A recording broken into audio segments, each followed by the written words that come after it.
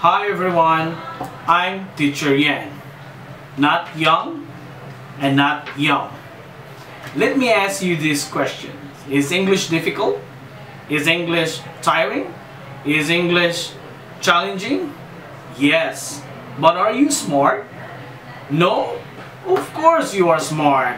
All you need to do is have confidence. If others can do it, you can do it too.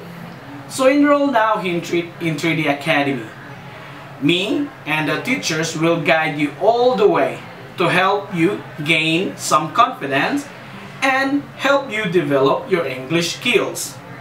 So come on, join the fun. Let's learn English.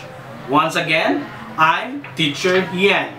Not young, not young, but Yan. See you!